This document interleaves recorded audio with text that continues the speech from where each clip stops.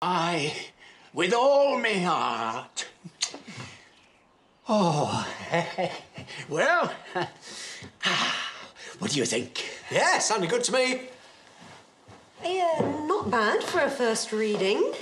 Are you going to tell him or shall I? You're the director.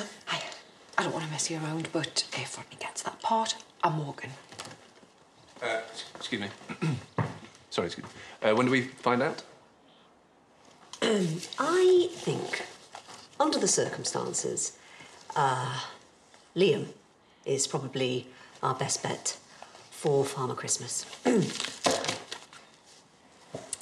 Can I ask why? Let's just say the chemistry between uh, uh, Kerry and Liam was, uh, how should we say? Um, Uh, believable, believable, believable. Yeah. Right, guys, uh, that's a tea break, and then after that we can. No one wants you here. Dad does. He's lying. He only brought you here because he doesn't know what else to do with you. He knows we all hate you. He doesn't. Yeah, he does. Even he hates you. Everyone hates you, Archie. Why is he even here? They might need someone to go around picking up the rubbish at the end. Why don't you ask Manpreet if you can do that instead? Stop it! Stop it! Archie, what you do that for? What the hell do you think you're playing at? Put my son down.